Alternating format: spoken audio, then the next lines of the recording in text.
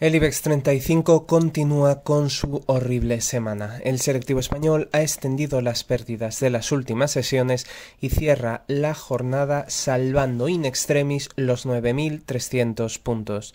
Este cambio de rumbo se debe a varios motivos, según los expertos.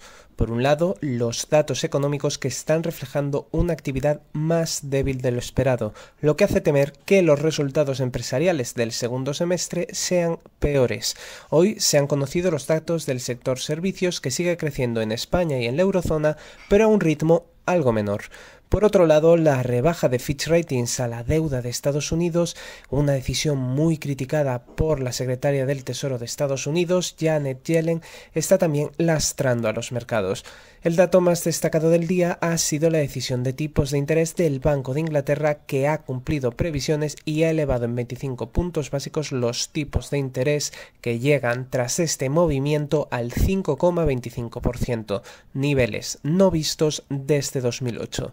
Al cierre de la sesión en Wall Street se conocerán los resultados trimestrales de Amazon y de Apple, dos de los valores más importantes de la bolsa estadounidense.